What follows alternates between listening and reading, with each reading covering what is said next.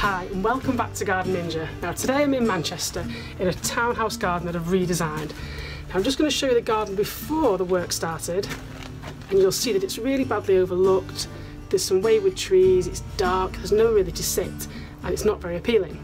But I've redesigned this garden to increase the privacy and to give different seating configurations for different times of the day.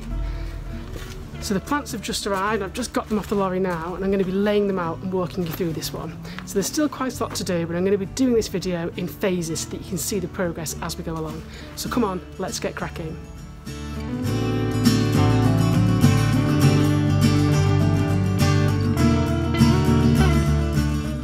So I'm starting to get the plants in now and the structure's really coming together. So you'll see in the background there, we've got a Gleditsia tree that's going to give some nice canopy shading without blocking out too much light or annoying anyone. We've also got the Garrya elliptica at the back there, which is a wall shrub slash tree, a bit of a strange one, but over time it will weave its way along those fence panels because I'm going to put wire runners on. We've also got Trachelospermum, which is evergreen jasmine, but it's its own species, it's not actually jasmine.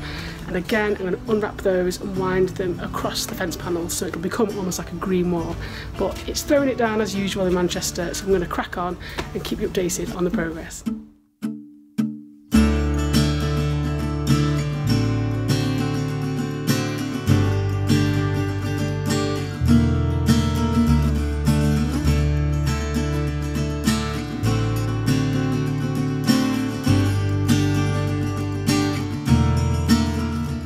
So the plant choice in this garden is crucial and that's to help bring privacy because there are so many overlooked windows here it's near impossible to just block them all out with fences and it's bad design practice. But what I've done is I've chosen plants such as the Fatsia behind me and the choisya just here, which will grow considerably.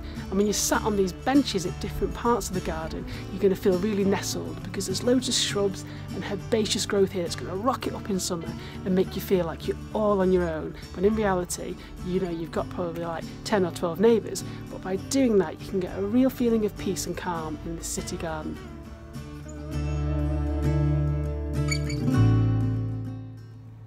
So we've got this living wall that's starting behind me with the Trachelospermum jasminoides, which is evergreen jasmine. So over time that will colonise that entire back wall.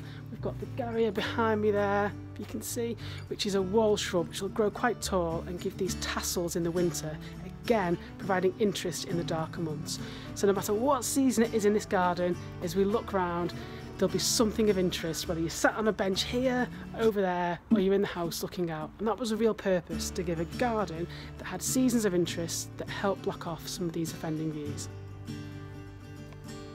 So we've got a mix here behind me of evergreen shrubs such as the Fatsia japonica spider's web which has a variegated leaf and a mix of other herbaceous perennials so it will continue giving interest throughout the seasons of the year.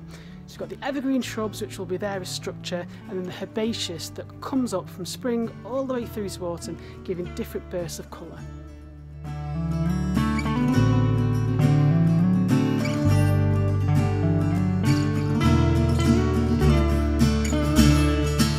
Now these are scaffold board benches and they've been designed to give a really rustic look to the garden. Now the owner's probably going to sand these and stain these and make them look a bit older, which will be really nice. And they blend really well with the herringbone brick on the floor, which are all reclaimed, and the brick planters. So we've got quite an industrial feel here, but it's softened by all the planting. And the underbench planting, which you can see there, it's going a bit dark now, will really soften the edges and give loads of texture to the garden. Now as we walk into this garden, I've carried the design on down the side of the house. So we've got the herringbone that keeps going all the way around, we've got the evergreen jasmine here that's going to colonise this wall, so it brings the feeling and that design all the way around, giving it consistency. Whereas if you were to use say flags or a different material, it would break the flow of the garden. So it's always worthwhile considering trying to pull the design through the garden as consistently as possible.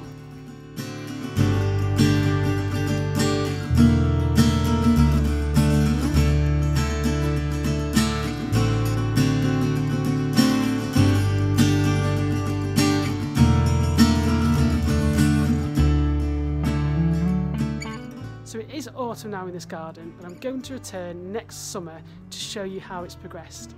If you've liked this video, why not subscribe to my YouTube channel for plenty more garden design hints, tips and hacks, or leave a comment to ask me, the Garden Ninja, any garden question that you might have yourself. I've been Garden Ninja, happy gardening.